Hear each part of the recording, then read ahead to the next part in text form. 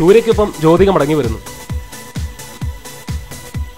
ഒരിടവേളയ്ക്ക് ശേഷം തമിഴകത്തിന് പ്രിയ നടി ജ്യോതിക വെള്ളിത്തിരയിലേക്ക് മടങ്ങിയെത്തുന്നു. ഭർത്താവും സൂപ്പർ നടനുമായ സൂര്യയുടെ നായികയായാണ് ജ്യോതിക മടങ്ങി വരുന്നതെന്നാണ് റിപ്പോർട്ടുകൾ പറയുന്നത്. പസംഗ എന്ന സിനിമയിലൂടെ സംവിധായകനായ പാണ്ഡ്യരാജാണ് ഈ ചിത്രം ഒരുക്കുന്നത്.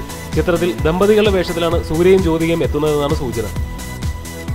പസംഗയിൽ കുട്ടികൾക്ക് പ്രധാന റോളാണ് ഉണ്ടായിരുന്നത്. അതുപോലൊരു സിനിമയാണിതെന്നും പറയപ്പെടുന്നു. ചിത്രത്തിന്റെ തിരക്കഥ വായിച്ച സൂര്യ അതിൽ ആകൃഷ്ടനായെന്നാണ് അദ്ദേഹത്തിന്റെ അടുത്ത വൃത്തങ്ങൾ പറഞ്ഞിരിക്കുന്നത്.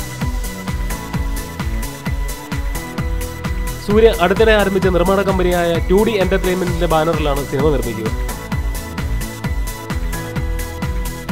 ചിമ്പുവിനെയും നയൻതാരയും പ്രധാന കഥാപാത്രങ്ങളാക്കി ഒരുക്കുന്ന ഇത് നമ്മ ആൾ എന്ന സിനിമയ്ക്ക് ശേഷമാവും പാണ്ഡ്യരാജ് പുതിയ സിനിമ ഒരുക്കുന്നത്.